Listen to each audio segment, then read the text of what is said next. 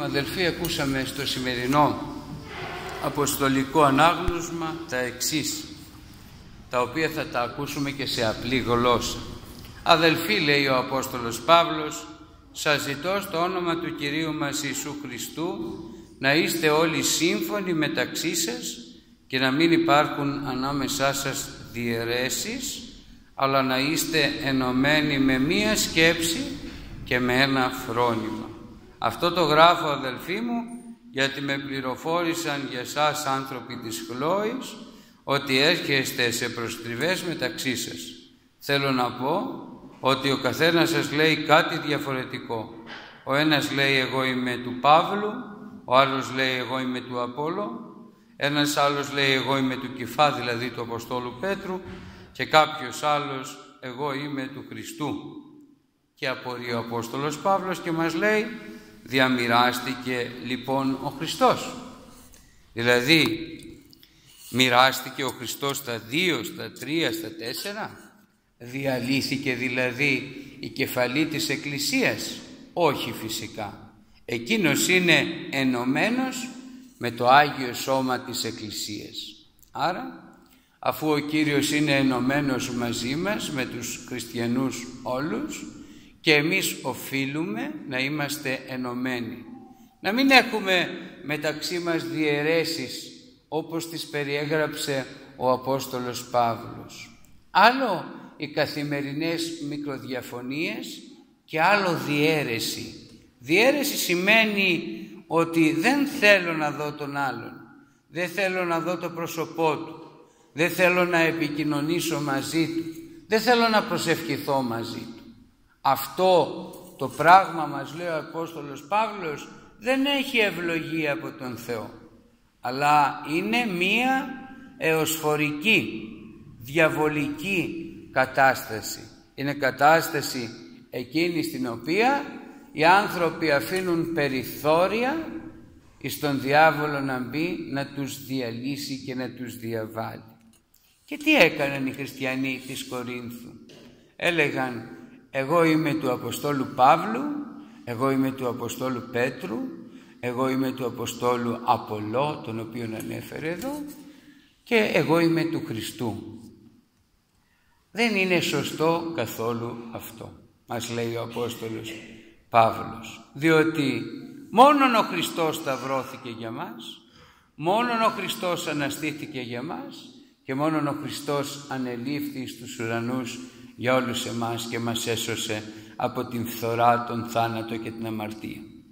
Ούτε ο Απόστολος Πέτρος, ούτε ο Απόστολος Παύλος, ούτε ο Απολό, ούτε κανείς εκ των Αποστόλων δεν έδωσε την ζωή του για χάρη των ανθρώπων. Αλλά όσοι εμαρτύρησαν από τους Αποστόλους έδωσαν την ζωή τους για χάρη του Χριστού. Έτσι γίνεται και σε όλους εμάς δίνουμε τη ζωή μας στον Χριστό και Εκείνος μας επιστρέφει την ζωή μας ευλογημένη και μας επιστρέφει επίσης και την ανθρώπινη επικοινωνία μας αποκατεστημένη.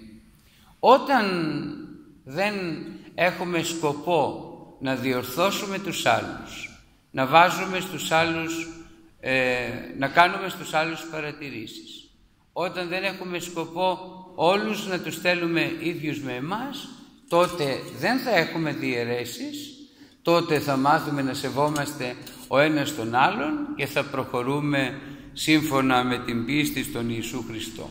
Αλλά εδώ ο Απόστολος Παύλος αναφέρεται και σε άλλα σκίσματα, όχι απλές ανθρώπινες μικροδιαφωνίες, αλλά το να γίνουμε μέσα στο σώμα της Εκκλησίας να γίνουμε σχισματικοί, δηλαδή να πούμε ότι εδώ δεν είναι καλός ο ιερέας, άρα εγώ θα ανήκω σε άλλη εκκλησία.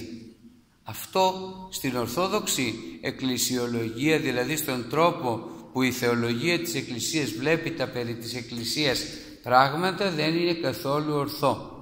Αν ο ιερεύς έχει κανονική ιεροσύνη και τον έχει χειροτονήσει κανονικός επίσκοπος και όχι ψεύτικος, τότε αυτός ο ιερεύς είναι σωστά χειροτονημένος, άρα τα μυστήρια που μας παρέχει είναι ευλογημένα και άγια.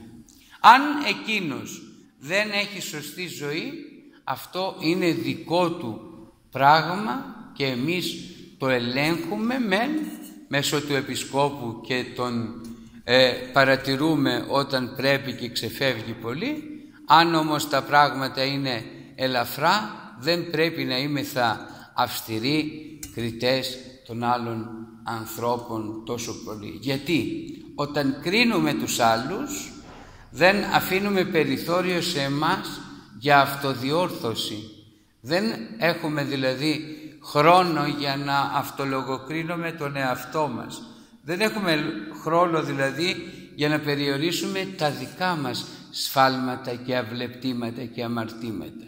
Όσο ασχολούμεθα με τα σφάλματα των άλλων, τόσο λιγότερο χρόνο έχουμε για να ασχοληθούμε με την διόρθωση του εαυτού μας. Και τελικά τους ίδιους τους εαυτούς μας καταστρέφουμε όταν ασχολούμεθα με τους άλλους.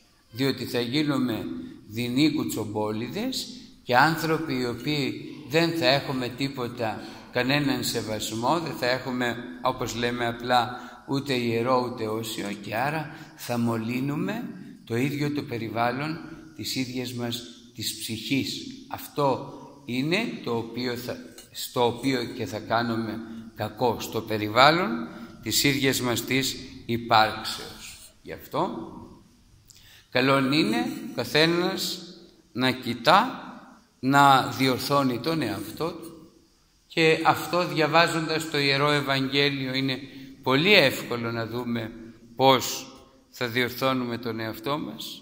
Συχνά ο Κύριος μας λέει μη κρίνετε ή να μην κριθείτε. Κοιτάξτε δηλαδή τα δικά σας σφάλματα. Ποτέ να μην τολμήσετε να πείτε, μας λέει ο Κύριος, ότι αυτός ο άνθρωπος δεν αξίζει και θα πάει στην κόλαση. Ποιοι είμαστε εμείς που θα κρίνουμε τον άλλον άνθρωπο; Ο Θεός τον δημιούργησε. Εκείνος θα τον κρίνει την έσκατη ημέρα στις τελευταίες στιγμές του και μετά τα αυτά μετά τον θάνατό του. Εκείνος θα του αποδώσει κατά τα έργα του, κατά τις επιλογές του, κατά τις συνθήκες της ζωής στις οποίες έζησε. Αυτή είναι η πνευματική πραγματικότητα στην οποία ο Άγιος Απόστολος Παύλος μας καλεί να ζήσουμε.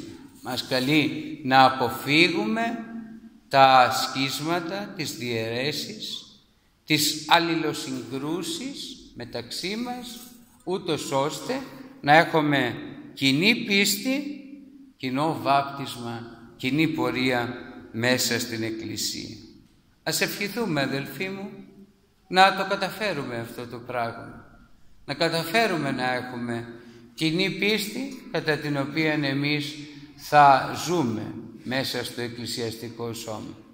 Να σεβόμεθα το βάπτισμα το οποίο πήραμε στα μικράτα μας, στην πολύ μικρά μας ηλικία και να έχουμε κοινή πορεία μέσα στην Εκκλησία του Χριστού που είναι σημαντικό όταν πορευόμαστε μέσα στο σώμα του Χριστού και ιδιαίτερα στην Θεία Ευχαριστία, στη Θεία Λειτουργία που ερχόμαστε για να κοινωνήσουμε τα άκραντα μυστήρια, να έχουμε συνέστηση ποιον κοινωνούμε, ποιον βάζουμε στη φθαρτή μας ύπαρξη μέσα και ποιον φιλοξενούμε στο σώμα μας. Θα φιλοξενήσουμε όσοι κοινωνήσουμε σε τούτη τη Θεία Λειτουργία αλλά και σε κάθε Θεία Λειτουργία θα φιλοξενούμε εντός μας τον Κύριόν μας Ιησού Χριστό. Θα φιλοξενούμε εντός μας το σώμα Του και το αίμα του Χριστού. Αν δεν έχουμε τις προϋποθέσεις αυτές, η φιλοξενία δεν θα είναι αρίστη, αλλά θα είναι λανθασμένη. Και ο Κύριος ναι μεν καταδέχεται να μπει εντός μας, αλλά δεν θα μας επιβάλλει το θέλημά Του αν εμείς ελεύθερα δεν διαλέξουμε το θέλημα του Θεού στη ζωή μας. Το θέλημα του Θεού περιγράφεται αδελφοί μου στην Αγία Γραφή και ιδιαίτερα στην Καινή Διαθήκη. Γι' αυτό όσοι έχετε Καινές Διαθήκες διαβάστε τες θα κάνουν ε, άγια την ύπαρξή σας, θα επηρεάσουν την καρδιά σας προς το θέλημα του Θεού και θα κάνουν και την καθημερινότητά σας και η καθημερινότητά μας θα την κάνουν πιο εύκολη, πιο αγία, πιο ευλογημένη. Αμήν. Έτσι